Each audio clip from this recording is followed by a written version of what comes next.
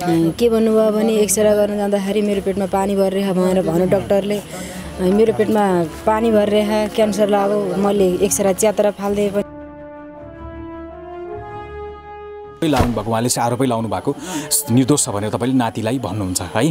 अब स्पष्टीकरण पनि तपाईँले निर्दोष भनिरहँदाखेरि चाहिँ के कारणले तपाईँलाई मेरो नातिले यो गरेको होइन जस्तो लाग्छ त आमा वर्षीको मूल्य पालेको आमा नभएको टुरो हो यो टुरालाई अब यस्तै गरी पारम भनेर पारेको कुरा हो यो। भनेपछि उहाँको टुर आमा हुनुहुन्न? आमा छैन। वर्षीको मूल्य पालेको मैले हो मेरो साथीको दुध।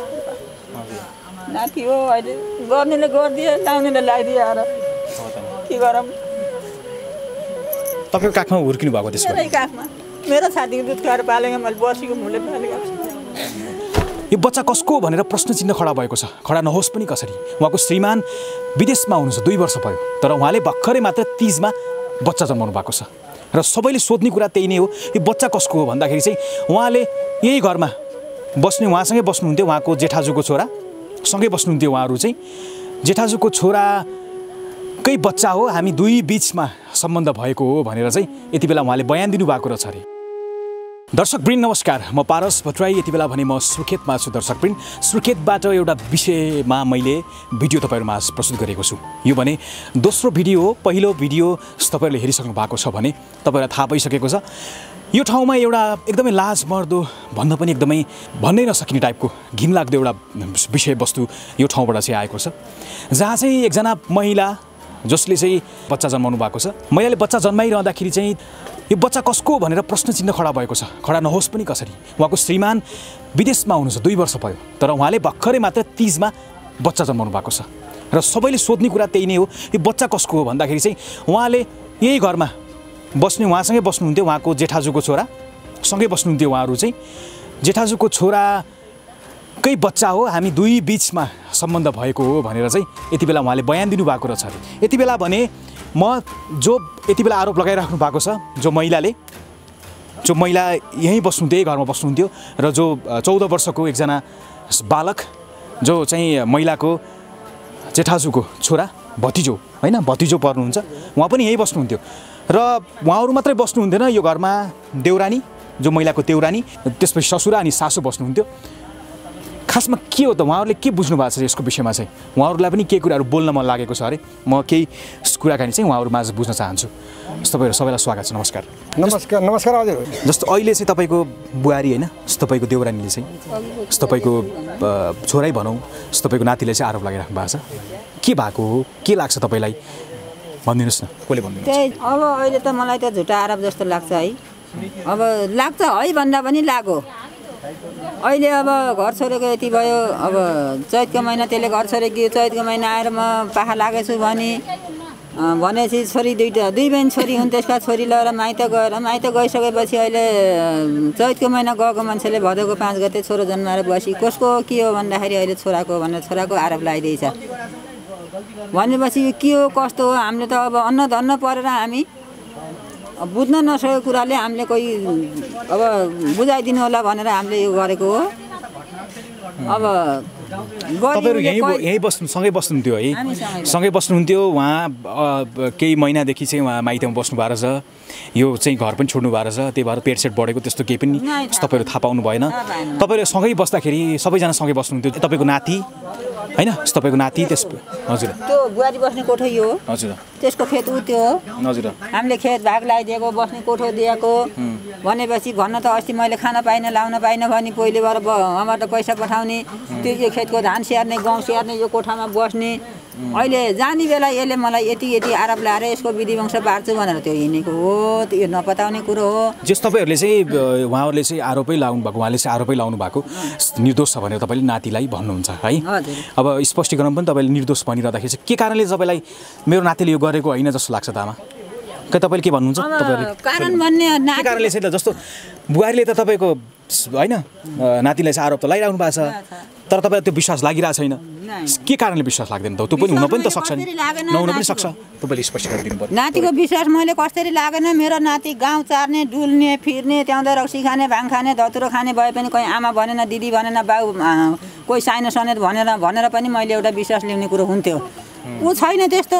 आफ्नो घर पकाएको भात त उसले नदिएसम्म खान्न ऊ भोकै हिँड्छ भने त्यसलाई मैले के गरी विश्वास मानौँ त। भनेपछि अहिले यो हुन त यो आरोपै लागेको कुरो हो त्यसले पहिला पनि यो घर मैले छोड्नु पर्यो भने तेरो चुल्हाको खरानी पनि मैले राख्ने होइन भने कि हो अहिले जस्तो भने उस्तै पुरै यो माइतीले गरेको कारखाना हो। सर अब मैले के भन्नु? मेरो भन्ने यति नै हो अब के अब भन्नु देउरानीसँग थोरै सोध्छु म उहाँको जो जो तपाईँ पनि बस्नु आमा तपाईँ पनि बस्नु। बरु तपाईँलाई गाह्रो भएको भए तल बस्दा हुन्छ। तपाईँ चाहिँ उहाँको देउरानी हजुर। यो जुन आरोप लगाइराख्नु भएको छ तपाईँलाई के भन्न मन लाग्छ? तपाईँ पनि यहीँ बस्नुहुन्थ्यो। उहाँले लगाएको आरोप झुटो हो। यदि घरमा बस्दा पनि हामी देउरानी जेठानी थियौँ सास ससुरा इन्डिया जानुभएको थियो दबाई गर्नको लागि। देउरानी जेठा थियौँ अब बिरामी भए पनि मैले पलाटीसम्म पनि म जान्छु भनेर भनेको हो मैले। अनि त्यसपछि उहाँले अब के भन्नुभयो भने एक्सरे गर्न जाँदाखेरि मेरो पेटमा पानी भरिरहेछ भनेर भन्यो डक्टरले। मेरो पेटमा पानी भरिरहेछ क्यान्सर लाग्यो मैले एक्सरे च्यातेर फाल्दै पनि भन्नुभयो उहाँले। अनि मैले त्यति भन्दा पनि अब एक्सरे देखाउनु भन्दाखेरि उहाँले त्यस्तो भन्नुभयो। भनिसकेपछि घर आउनुभयो घर आएर दिदीबहिनीले गाउँका मान्छेले पनि सोद्धाखेरि तँलाई के भयो बाहिर किन सहेनस् भन्दा पनि उहाँले मेरो पेटमा पानी नै भरेको भनेर भन्नुभयो। अनि त्यसपछि घर छोडेर मङ्सिरको महिनाको छुई रोकेको उहाँको। चार महिना भइसकेको थियो। घर फागुनको नौ गते उहाँ निस्केर जानुभएको घरमा। एक हप्तामा फर्केर आउँछु भन्नुभएको। त्यसपछि आउँदै आउनु भएन। एकचोटि चैतको महिना आउनुभएको थियो चैतको महिना आइसकेपछि अनि मैले सोधेँ आएर यहीँ बाहिरै उभिनु भयो भित्र पनि जानु भएन खाना खाना आउनु भन्दाखेरि मिन्स भएको छु मलाई पाँच दिन भयो भनेर भन्नुभयो उहाँले। त्यसपछि फर्केर पनि आउनु भएन। एक्काइस भदौको महिना पाँच गते बच्चा जन्मिसकेपछि अनि एक्कासी यही छोराको बच्चा हो भनेर उहाँले झुटो आरोप लगाउनु भयो यो झुटो। जस्तो मङ्सिरको बेलामा चाहिँ यौन सम्पर्क भयो भनेर चाहिँ भन्नुभएको छ। पुस माघ फागुन। यहाँ यहाँ कहिले आउनुभयो? यहाँ पुस माघ फागुन होइन? हजुर। पुस माघ फागुन चैत चार महिना पछि यहाँ आउनुभयो त्यति बेला चाहिँ केही। त्यस्तो लक्षण केही थिएन? मतलब। के त्यस्तो देखिएको थियो? पेटहरू त्यस्तो केही देखेको थिएन हामीले त। त्यस्तो पेट सेट ठुलो थिएन अब त्यस्तो केही थिएन। अब लेभल थियो। अनि त्यसपछि अब पाँच मै पाँच दिन भयो आज मिन्स भएको भनेर उहाँको मुखबाट सासूले सुन्नुभएको मेरो जेठाजु हुनुहुन्छ उहाँले सुन्नुभएको ससुराले सुन्नुभएको आफै भन्नुभयो अथरा पनि जानु भएन पछि एक्कासी अथरा गइसकेपछि मैले किन जानुभयो भन्दाखेरि झुक्केर आएँ भने भन्नुभयो उहाँले। अनि भनिसकेपछि अब छोरो काठमाडौँ नेपाल सुर्खेत थिएँ सुर्खेत गएर असारको महिना छोरो आएका हुन् एक्कासी उनलाई पनि केही कुरा थाहा छैन। यदि थाहा भइदिएको भए त उनी यहाँ बस्दै बस्दिन्थेनन् होला। अनि त्यसपछि अब भदौको महिना बच्चा जन्मिसकेपछि तेरै यो भनेर उहाँले भन्नुभएको झुटो आरोप लाउनु भएको अब यो त झुटो हो हामीलाई यस्तो विश्वास लाग्दैन। तपाईँहरूले चाहिँ अब झुटो आरोप भनिरहँदाखेरि चाहिँ अब यो अनुसन्धानमा रहेको छ डिएनए टेस्ट भइहाल्छ होइन? त्यस पछाडि चाहिँ कसको बच्चा हो भन्ने कुरा स्थान भइहाल्छ। तर पहिला पहिला उहाँहरूको जस्तो कस्तो थियो तपाईँको छोरा अनि त्यसपछि जेठानीको बिचमा चाहिँ त्यस्तो केही किसिमको हेलमेल त्यस्तो केही तपाईँहरूले थाहा पाउनुभयो यो घरमा बस्नुहुन्थ्यो तपाईँहरू चाहिँ त्यस्तो केही थाहा पाउनुभयो घरमै थियौँ हामी त मङ्सिरको महिना घरमै थियौँ हामी। त्यस्तो हामीले केही पनि थाहा पाएन त्यस्तो बोल्ने हाँस्ने ठट्टा गर्ने त्यस्तो हामीलाई केही पनि थाहा पाएनौँ। अब कसैसँग बोल्दैनन् तिनी अब तिनको घरमा पनि त्यस्तै हो न अब खान मन लागेको बेला भोक लागेको बेला तिनीले मलाई खाना हालिदिनुहोस् भनेर पनि भन्दैनन् तिनी। दिएपछि खाने नत्र भोक भोक हिँड्ने त्यस्तो सिधा छोरो हो।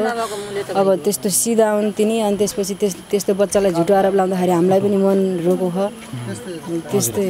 अब वर्षीको मूल्य पालेको आमा नभएको टुरो हो। यो टुरालाई अब यस्तै गरी पारम भनेर पारेको कुरा हो यो। भनेपछि उहाँको उहाँ टुर हो आमा हुनुहुन्न? आमा छैन। वर्षीको मूल्य पालेको मैले हो मेरो साथीको दुध नाति हो अहिले गर्नेले गरिदिए लाउनेले लगाइदिए आएर। के गरौँ? तपाईँको काखमा हुर्किनु भएको त्यसो भए। मेरै काखमा। मेरो साथीको दुध खुवाएर पालेको मैले वर्षीको मूल्य पालेको दुःख लाग्छ। जसले अहिले आरोप लगाइराख्नु भएको छ नि यही छोराले छोरा र म बिचमा यस्तो भयो। छोराले चाहिँ मलाई होइन यौन सम्पर्क गरेर चाहिँ यो बच्चा भएको भनेर आरोप लगाइराख्दाखेरि चाहिँ उहाँले चाहिँ कतिको माया गर्नुहुन्थ्यो?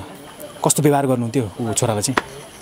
त्यो बैस त्रिसठी सालको जन्मियो जन्मेपछि त्यहाँ त आमाले एउटा दुध काकालाई एउटा दुध आफूले खुवाएर पाली।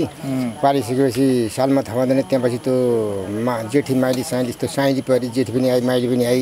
आइसकेपछि उसले गु पनि छोरी म पनि छोरी बहुत माया गर्थेँ पहिला। भने जुठो भाडा मार्ने गर्थेँ छोरा मेरा भन्थे। अझै पनि बाबु भनेर उसले बोलाउँदै रहेथे। बोलाउने बेला के भयो भनेपछि हामीहरू अब कार्तिक महिना त्यसको हुँ कातिमा धानचरा गई धानचरा गई आइसकेपछि तातापानी गई तातापानी यता पलाइटी त्यसको दाइकार गई। बिग्री के बिग्री हामीलाई थाहा छैन। र अहिले आरोप एकैसै नातिलाई आरोप लाउँदाखेरि हामीले झुट्टा आरोप भन्यौँ तर खास गरेर बाबु र आमाकै जाल हुने। बाबुराम भन्नाले उतातिरको बाबुराम अँ, केटीकै आमा यहाँ यो बाबेचरको कुरा होइन माथि सान्नेका असौहरू आउनुभएको थियो। यस्तो यस्तो गर्न पऱ्यो यो के हो चेक गर्ने गर्न पऱ्यो भन्ने बेला त्यसले गर्ने चेक त गर्ने तर योसित मिले मिल्छ नमिले अर्को अर्कोजनासित नि चेक गराउने भन्ने छ। माथि। भनेपछि अब त्यो कोसित चेक गराउने हो कहाँ चेक गराउने हो अब खोज सबैले सुने खान् त्यहाँ। असैले सुन्नुभएको छ माथिको। छोरासँग मिलेन भने अर्कोसँग अर्को- पनि चेक गर्नु भनेर भन्नुभएको छ। उहाँ जुन तपाईँकै बुहारीले। हजुर। अर्कोसित गराउनु पर्छ भन्ने छ उसले